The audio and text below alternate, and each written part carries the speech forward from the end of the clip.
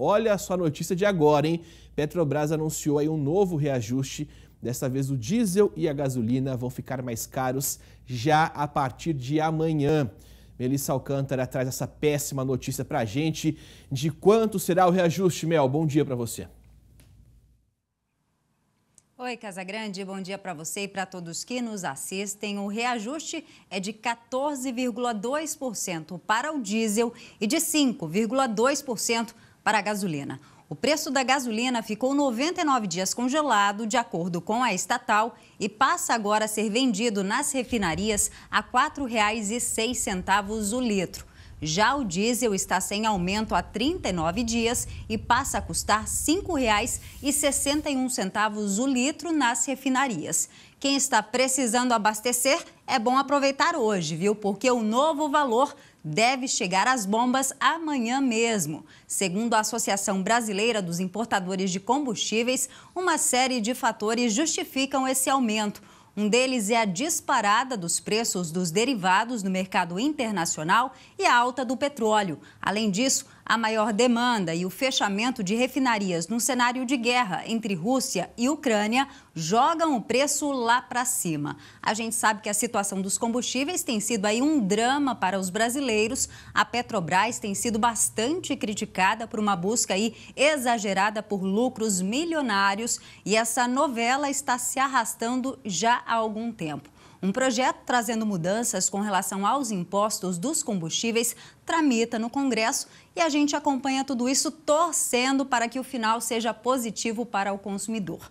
Hoje o preço médio desses combustíveis na região está assim, ó. Pega lá o lápis e a caneta se você quiser anotar hoje, porque amanhã já muda. Em Rio Preto, o litro da gasolina é vendido em média a R$ 6,72. Do diesel a R$ 6,73. Em Araçatuba, a média do preço do litro da gasolina é de R$ 6,87. Do diesel, R$ 6,83. E em Presidente Prudente, a gasolina está sendo vendida em média a R$ 6,86 e o diesel a R$ 6,92. A informação é da Agência Nacional do Petróleo. Já não está barato, não é, Casagrande? Não, não tá barato, não, tá caríssimo, viu, Mel? Só pra, enquanto você foi falando, até peguei aqui o papel para anotando os números que a Mel trouxe, só pra gente ter uma ideia. Vamos supor que realmente é, as revendas, né, os postos de combustíveis, repassem somente os 5%, que muitas das vezes o aumento vem maior do que na refinaria. Vamos pegar o exemplo aí de Araçatuba, que tem a média mais alta, 6,87. Supondo que a gente tem aí 5% de aumento,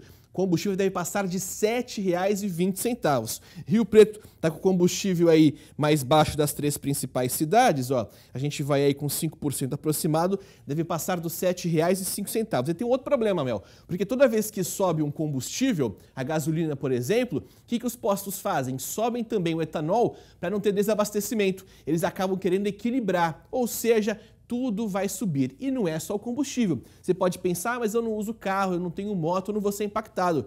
Pelo contrário, viu? Todos os produtos que chegam, por exemplo, até o supermercado são transportados por veículos a diesel. Com diesel subindo, vai subir ainda mais a carne, vai subir ainda mais o arroz e o feijão, vai subir ainda mais todos os itens que a gente compra. Tá difícil, tá quase impossível viver nesse país, infelizmente, com essa inflação descontrolada e com esses preços que não param de subir. O jeito, Mel, ou é fazer uma escala aí de carona solidária com os colegas do trabalho, ou começar a andar a pé, porque com esse jeito que está, do preço que está absurdo pela hora da morte, a situação fica delicada. Complementa aí a informação. Não, hoje eu estava com viagem marcada para visitar meus pais. Aí a gente recebeu essa informação do combustível. Eu já não sei se eu vou encher o tanque para ir e voltar com esse preço, como vai ficar em casa. Exatamente, já começa a ter que refazer os planos, né? Porque, imagina, você vai abastecer o tanque, estava abastecendo quase trezentão ali para encher o tanque com gasolina. Imagina agora para quanto não vai. Tá feia a coisa. Obrigado pelas informações, Mel.